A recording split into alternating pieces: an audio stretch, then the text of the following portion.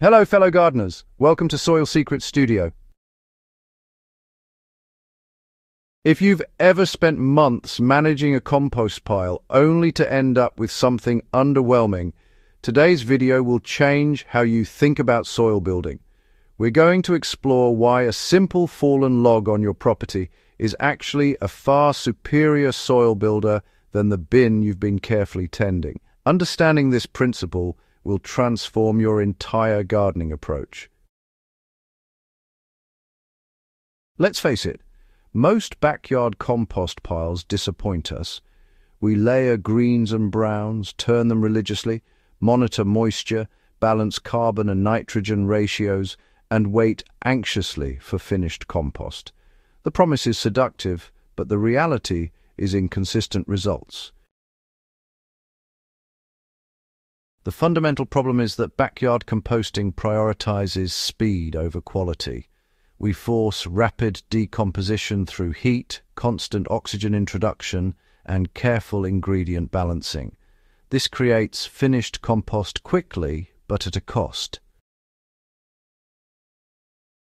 During this rapid breakdown, nutrients get lost. Water leaches away, carrying soluble minerals with it. Ammonia gas escapes into the air. Now consider a fallen log in the forest. Nobody manages it, nobody turns it. Nobody calculates its carbon-nitrogen ratio. Yet this log feeds the soil around it for years, supporting an incredibly complex ecosystem while building some of the richest soil on Earth. This isn't magic. It's a fundamentally different and vastly more efficient biological process. What's actually happening inside a decomposing log is extraordinary. The log isn't simply rotting, it's becoming a thriving ecosystem of specialized organisms. Wood contains cellulose and lignin, complex polymers that few organisms can digest. This is precisely why logs take years to decompose, not weeks. And this slowness is where the real magic happens. Wood decomposing fungi are, really, the key players here. These specialized organisms produce enzymes that cleave the bonds in lignin molecules, essentially eating their way through solid wood. This fungal activity creates vast networks of mycelium threads that extend throughout the log and, you know, into the surrounding soil. These networks form mycorrhizal relationships with plant roots, extending the plant's reach underground and giving it access to water and nutrients locked in soil pores that roots alone could never reach. Inside the log, bacteria work alongside fungi cycling nitrogen and other elements into plant-available forms. Insects, beetles, millipedes, springtails, colonize the log, creating galleries that increase oxygen penetration and provide habitat for more microorganisms. Each organism produces waste that, well, feeds others in an intricate, self-regulating food web. Nothing is wasted. This biological complexity is almost entirely absent in typical backyard compost piles. While compost contains bacteria and fungi, they're usually dominated by fast-growing, heat-loving microbes that burn through materials quickly without establishing the sophisticated fungal networks that logs develop. The result is compost lacking the mycorrhizal infrastructure necessary for long-term, effective soil building. Backyard compost piles require constant attention because they fight against natural biological processes. To decompose quickly, a pile must heat to between 130 and 160 degrees Fahrenheit through intense microbial activity. This heat kills beneficial organisms you'd want in soil, particularly mycorrhizal fungi, which cannot survive those temperatures. It also causes volatile compounds to escape into the air, which is, well, why piles smell like ammonia? You're literally watching nutrients escape. Maintaining a compost pile demands constant effort. You must turn it to introduce oxygen and prevent anaerobic pockets from forming and creating odours. You must manage moisture carefully. Too dry and decomposition stalls. Too wet and the pile becomes compacted and smelly. you must balance carbon and nitrogen inputs. Most gardeners eventually give up because the variables are simply too many to manage consistently. A fallen log on the forest floor is entirely self-regulating. Rainfall provides moisture without measurement. Oxygen diffuses naturally without turning. The carbon-nitrogen ratio is what it is, extremely high in carbon, but specialized fungi don't require balanced ratios like fast-acting thermophilic bacteria do. Decomposition proceeds at its own pace, and nature continuously adjusts the process to match conditions. There's no smell, no turning required, and no possibility of getting the formula wrong. Here's the critical insight. A backyard compost pile produces finished product in three to six months, but a log decomposes over years or decades.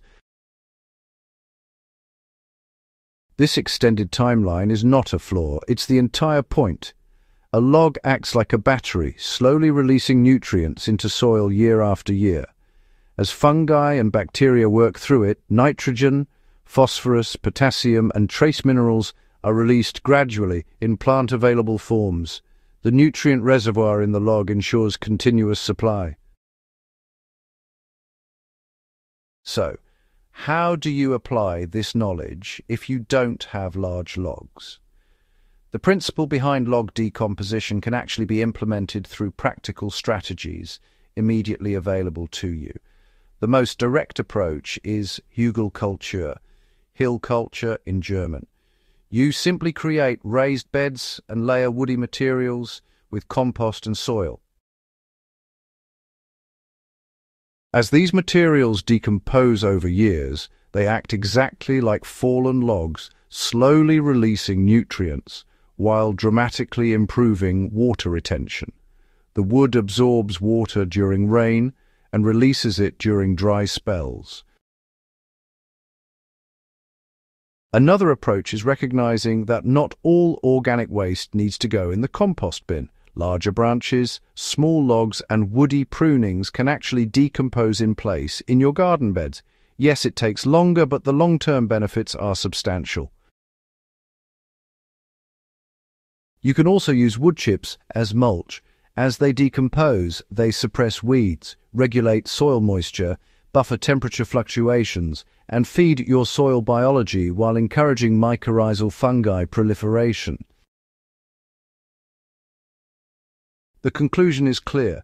The forest floor operates according to principles fundamentally more effective than our human-managed systems. Slow, consistent nutrient cycling through fungi-dominated decomposition creates superior soil and more resilient plants than rapid bacteria-dominated composting. So, this doesn't mean abandoning composting entirely. It still serves a purpose for kitchen waste, of course. Rather, it's about rethinking your relationship with organic waste woody materials and logs, you know, should really be embraced as soil builders rather than just compost ingredients. Your garden beds should, ideally, incorporate woody decomposition at multiple scales, from Hügelkultur beds to mulch layers to in-place log placement. By integrating these natural decomposition principles into your gardening practice, you'll end up creating soil that's alive, resilient, and honestly increasingly fertile each year. Take a moment to look at your garden differently.